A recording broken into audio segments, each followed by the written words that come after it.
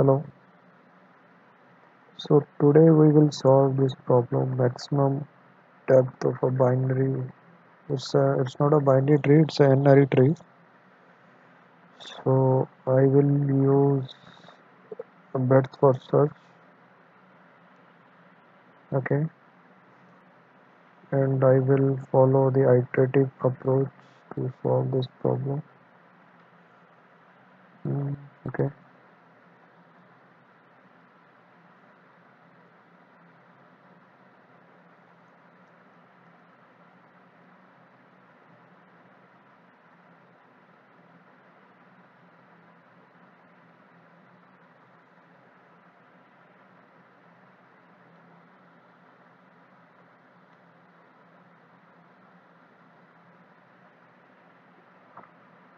just checking the null check. So I can return 0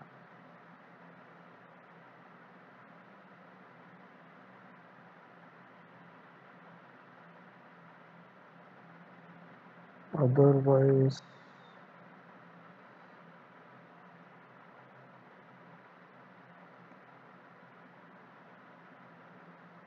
okay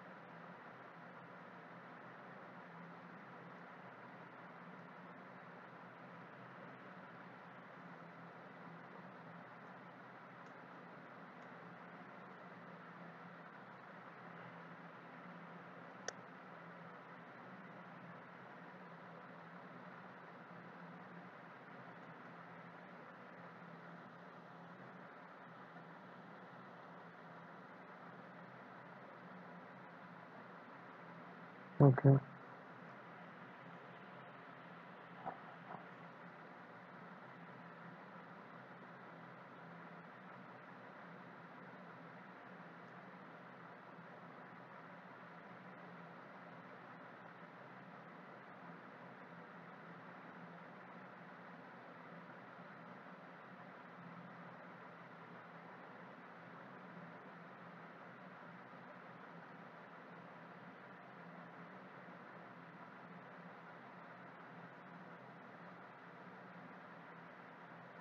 otherwise